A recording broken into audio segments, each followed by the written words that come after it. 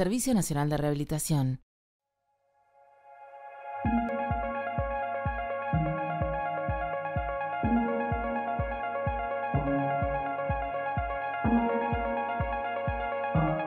Para hacer lo que están haciendo ustedes se necesita, aparte de mucha constancia, se necesita una palabra que no está demasiado de moda, que es amor.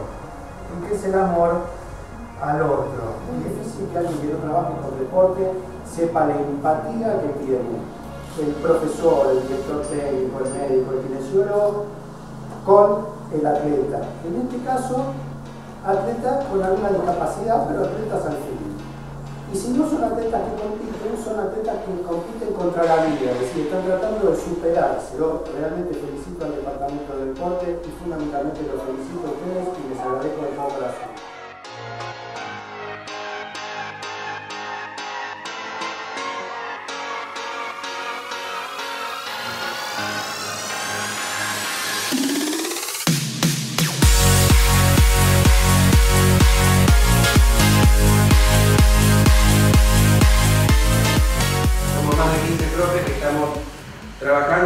que es el Departamento de Recreación y Deporte. Algunos lo conocen, otros no, pero esta semana van a tener la oportunidad de conocerlo y de hacer muchas prácticas. Ahora, 8 dice que tenemos que, como profesionales, tenemos que manejar la regla de las 3D. ¿La conocen, mis alumnos? ¿Se acuerdan? La regla de las 3D. Pregunta de examen, ¿eh? aviso. La regla de las 3D. Dice que hay que saber detectar, derivar y nunca diagnosticar.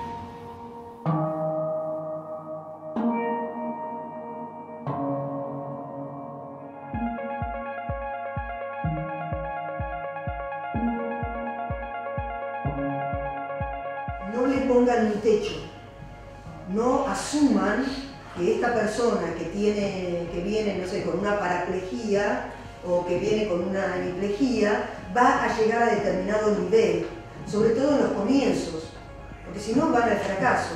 Y aparte el alumno depende, depende del, eh, del talento que tenga, de la motivación eh, individual, de su cabeza, cuando llega al deporte se convierte en atleta, no es más paciente. Entonces, una persona que todavía no terminó el proceso de rehabilitación, no podemos eh, pensar en que va a ser un deportista, que ya es un deportista, o que está haciendo entrenamiento. No, o está, como, está haciendo actividad como parte del proceso de rehabilitación, o está tomando clases para aprender o para mejorar su condición física, pero no está entrenando. Entrenar es otro tema, complejo.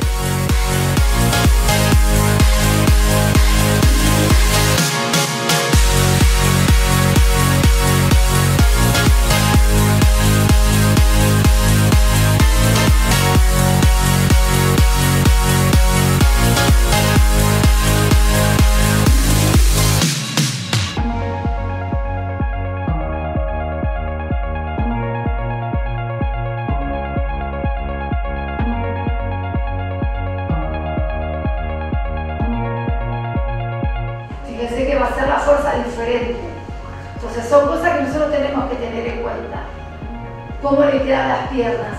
Fíjense la cola, cuando ella lleva las piernas hacia atrás, no tiene mucho control de los cuádriceps, entonces las piernas se le pasan. Cuando tenga que volver a hacer la fuerza, no va a hacer fuerza con los cuádriceps, va a hacer fuerza con la zona lumbar. Ese es un error común que nosotros tenemos que corregir. ¿Cómo lo corregimos? Nos ponemos al lado de la persona, le frenamos las piernas. Decimos, bueno, a 90 grados tenés que frenar. Empujar tirando el aire. Vuelvo tomando el aire, frena. Empujo. Y me quedo al lado hasta que el ejercicio salga bien. No solamente con ella, o sea, pasa con muchos.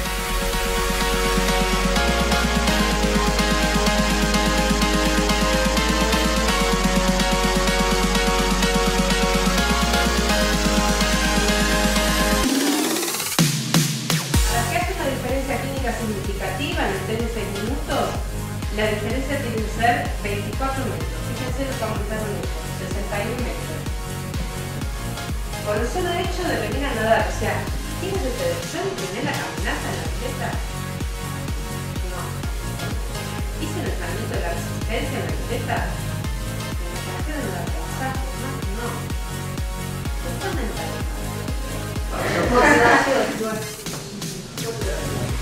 Mental. Motivación. Motivación.